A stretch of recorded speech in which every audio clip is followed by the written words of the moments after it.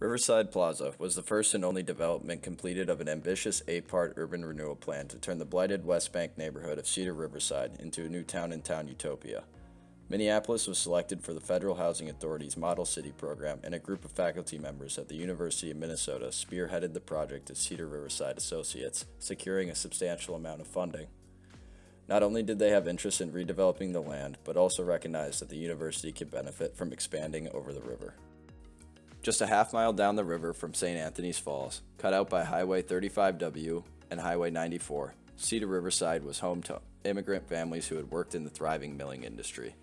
Due to the neighborhood's ethnic background and proximity to the university, it was an easy target for urban renewal. The proposed development was to span 300 acres or 0.47 square miles and provide multiple self sustaining communities to alleviate growing housing problems and public perceptions of blight. A blighted area costs their city more money than it makes them in taxes. These areas have low average incomes, low property value, lack of facilities, high crime rates, and accounted for a disproportionate amount of fire calls due to outdated electrical systems and fire prone building materials. This was a result of systematic racism, where people didn't have equal access to education, financing, career opportunities, and much more. As World War II came to an end, returning soldiers looking to move into houses added pressure to develop underperforming neighborhoods in cities. Founded in 1851, before Minnesota was a state, the University of Minnesota played a large role in the status of the city.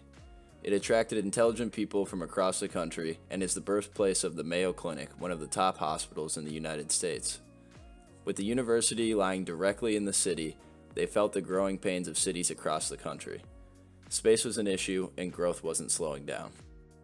In 1965, the Washington Bridge was built connecting the east bank of the Mississippi to the west bank of the Mississippi, paving the way for the university's expansion into Cedar Riverside. The bridge was unique in its design and accommodated pedestrians on the top floor and cars on the bottom floor. The bridge would make it easy for students to commute to the new campus and allow the university to expand. The only problem was the West Bank was still considered a dangerous and blighted area. Cedar Riverside Associates consisted of three people University of Minnesota business faculty member Keith Heller, University of Minnesota Medical School professor Martin Segal, and his wife Gloria Segal. They secured over $24 million in government funding to complete the first stage of their ambitious project. Gloria Segal acted as the public face of the association. Not only was the project proposed by University of Minnesota faculty members, but also designed by the director of the School of Architecture, Ralph Rapson. The brutalist design features multicolored window shades, unfinished protruding metal bars, and exposed concrete. The Demonstration Cities and Metropolitan Act was a 10 page document passed in 1966, and Minneapolis was chosen as one out of the 63 cities across the U.S. to receive federal funding for public housing projects. Cedar Riverside Associates secured a whopping $24 million in funding for the first stage of their project. The plan included new walkways, pedestrian bridges, a central plaza, repaving roads, planting trees, community centers, K 8 charter schools, computer education labs, and education programs. The community was supposed to be self sufficient, meaning that residents shouldn't have to leave the community to get goods or services that they need in everyday life. The goal of this self sustaining model was to reduce traffic congestion in surrounding areas, allow for more people to live closer together in less space, and build strong, integrated, growing communities. Not everyone was as enthusiastic about the new model. Concerned parents cited evidence of high rise buildings having a negative impact on early childhood development. Others were concerned about the lack of open space and air quality.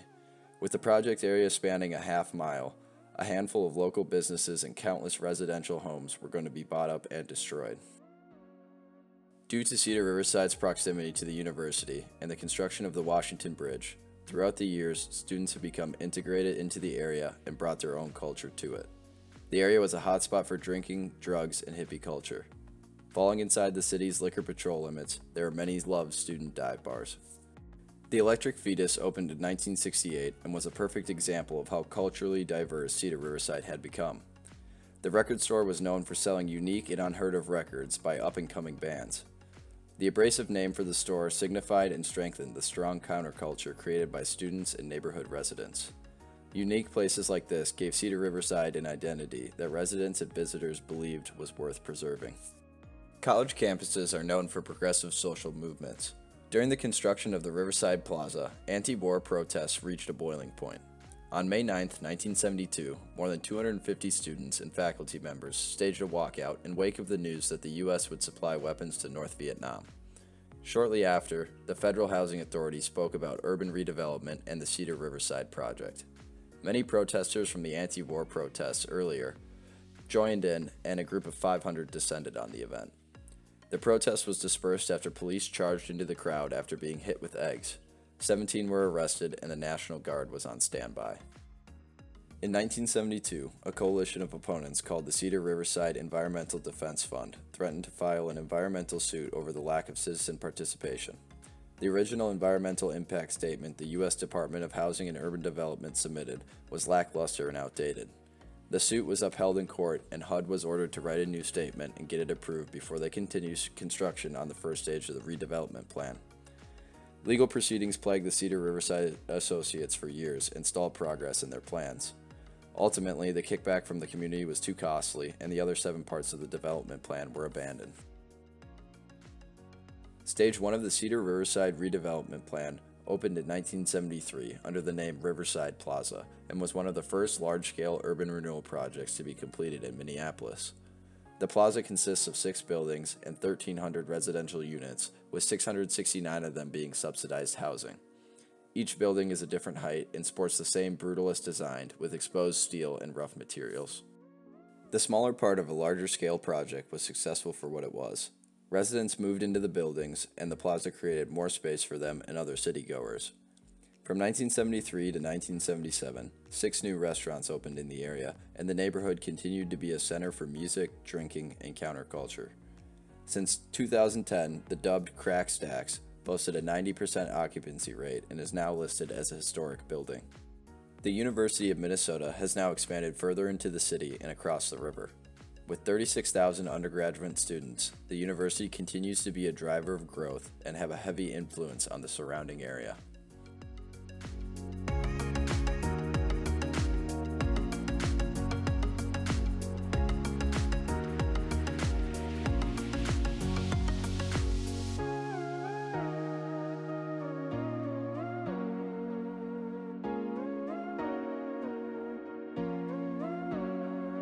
The population of Cedar Riverside is now home to 8,094 people. The area continues to grow and is a center for diversity.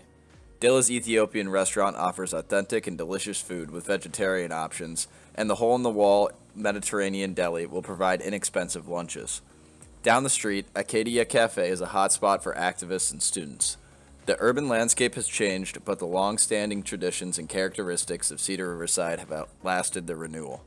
The community is still working to improve conditions and are active in local politics.